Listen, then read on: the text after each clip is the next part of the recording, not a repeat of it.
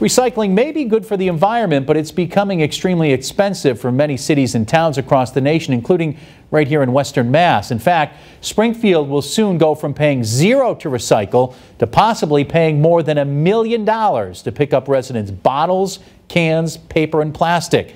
Beth Ward digging deeper for us into this issue and getting answers from the head of the city's DPW. And Beth, how does the city plan to pay for all the recycling costs. Yeah, well, Springfield and a whole lot of other cities and towns across Western Mass. That is the $1 million question, or should I say $1.1 million to be exact question for Springfield. There's a lot of buzz among residents on the street and in online forums about the possibility of having to pay higher trash and recycling fees. So we sat down with Chris Cignoli, he's DPW's uh, director for Springfield, to get some answers. We found out that this is not just a Springfield issue, but one one facing many cities and towns all across the U.S. and, as we said, right here in Western Mass.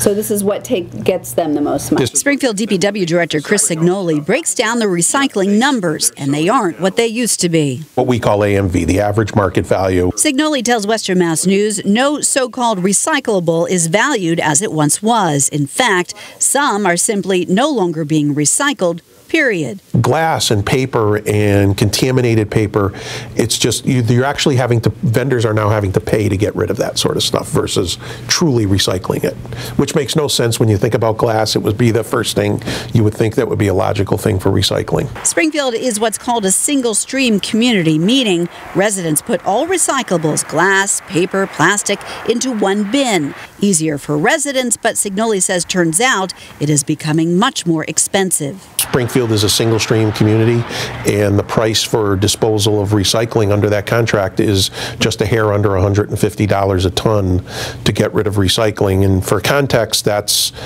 we pay $75 to get rid of trash. So getting rid of recycling now is double what it costs to get rid of uh, recycling material over trash. Why?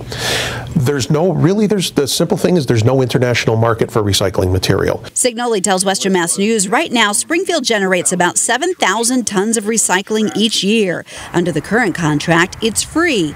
But that contract with Waste Management and the Department of Environmental Protection expires June 30th. If the city renews, he said it will cost $1.1 million for the year starting July 1st to recycle. And when you look at all the communities in Western Mass and you add it up, this is a six, seven million dollar issue for all the communities in Western Mass put together. So everybody's feeling the same amount of pain at this point. Right now, Cignoli says the city is looking at other more economical contractors. But bottom line, every community, he says, will have to pay to recycle moving forward.